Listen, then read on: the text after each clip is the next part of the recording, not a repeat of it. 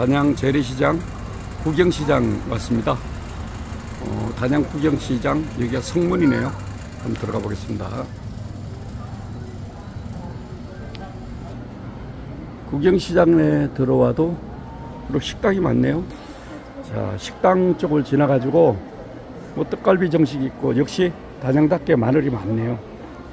엄청나네 마늘이. 다시 오른쪽 골목으로 한번 올라가 보겠습니다. 여긴 줄을 엄청나게 섰네요. 담빵, 제빵 손대. 맞아. 줄이 말도 못해요.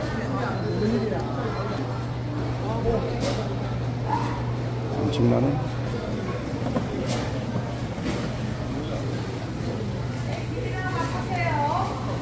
줄을 섰고요. 어, 가면서 다 먹자거리네요. 시장이.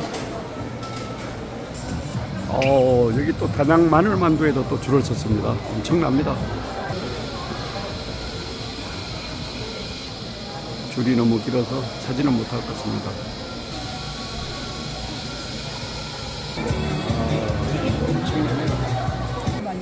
다음은 능이버섯입니다. 능이버섯 국내산인데 1kg에 15만원 하나 구입합니다. 네, 하나 구입합니다.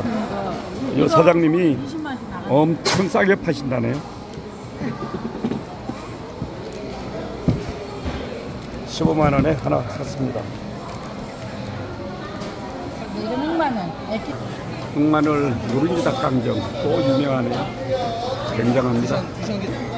여기도 줄 서서 끝이 없습니다. 이쪽도 먹거리, 저쪽도 먹거리. 수제 떡갈비 또 줄 섭니다. 오 맛있네요 이거 시식해 봤더니. 아 여기도 줄선 집이 있습니다.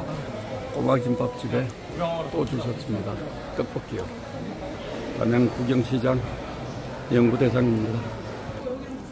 이 구경시장에서 유명한 그 제빵과 그 다음에 떡갈비, 음, 만두집 줄이 너무 길어 사지를 못하고 우리는 순대 사러 이쪽으로 와봅니다. 충청도 순대 여기서부터